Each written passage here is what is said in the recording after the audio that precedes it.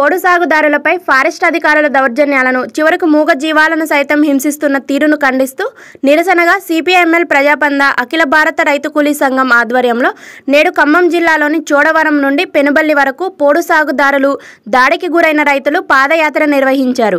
ఈ కార్యక్రమంలో సిపిఎంఎల్ ప్రజాపంద ఖమ్మం జిల్లా కార్యదర్శి గోకినపల్లి వెంకటేశ్వరరావు అఖిల భారత రైతు కూలీ సంఘం ఖమ్మం జిల్లా అధ్యక్ష కార్యదర్శులు మలీదు నాగేశ్వరరావు ఆవుల వెంకటేశ్వర్లు ప్రగతిశీల మహిళా సంఘం ఖమ్మం జిల్లా అధ్యక్షురాలు లలిత ప్రజాపంద వైరా డివిజన్ కార్యదర్శి అర్జున్ రావు రైతులు పోడు సాగుదారులు తదితరులు పాల్గొన్నారు.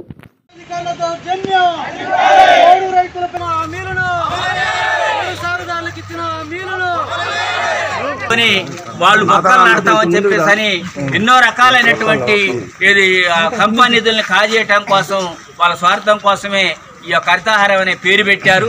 మరి అభివృద్ధిని చేయాలంటే అడవి చాలా ఉన్నది. మరి ఒక పక్కనేమో మొత్తం బొగ్గు బావులని తర్వాత ఇతర ప్రైస్ ఫ్యాక్టరీలకని ఎక్కడ ఐటీసీ పేపర్ బోర్డు అని ఇలాంటి వాటన్నిటికేమో పెద్ద ఎత్తున వేలాది లక్షలాది ఎకరాలేమో ఆ ఫారెస్ట్ని పెద్ద పెద్ద కార్పొరేట్లకి కంపెనీలకి ఉపజెపుతున్నారు మరి పేద ప్రజలు సాగు చేసుకుంటున్నటువంటి భూముల నుంచి అల్లగొట్టి మొక్కలు వేయాలని చెప్పేసి అని ఈ దుర్మార్గమైనటువంటి ఈ కేసీఆర్ ప్రభుత్వం ఆలోచన చేసింది.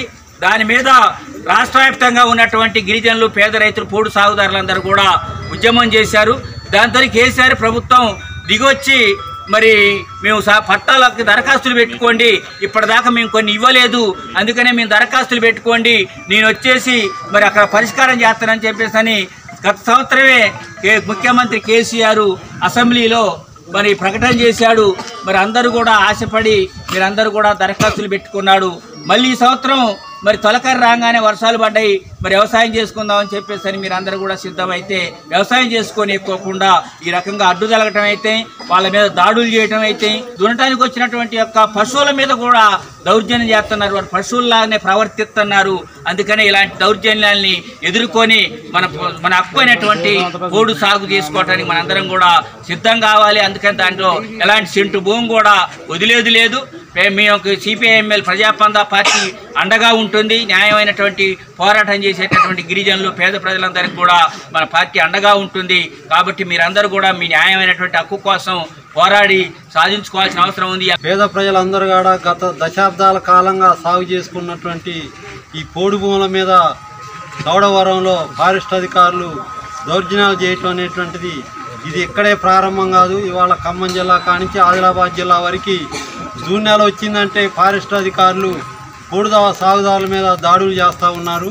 దీని మీద పెద్ద ఎత్తున ఆందోళనలు కొనసాగినాయి.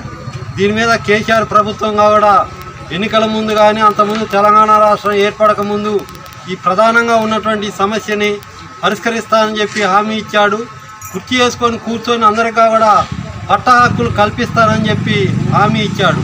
కానీ హామీ నెరవేర్చలేదని మనం అనేక ఆందోళనగా కూడా కొనసాగించాము.